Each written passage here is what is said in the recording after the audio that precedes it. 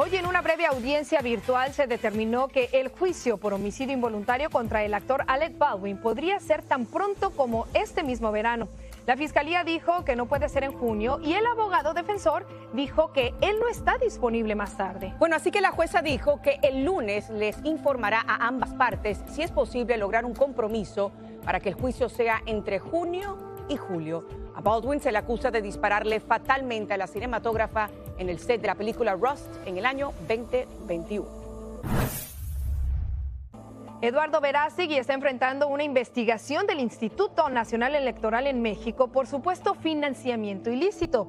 Verástegui aspiró a una candidatura presidencial independiente, como usted sabe, en su país, y según el INE, costeó la recolección de firmas con unos 7 millones de pesos, o sea, unos 390 mil dólares que recibió supuestamente de una firma con sede en Miami. El actor y director dijo que el INE vuelve a golpear a los ciudadanos independientes con el fin de proteger a los verdaderos dueños del poder.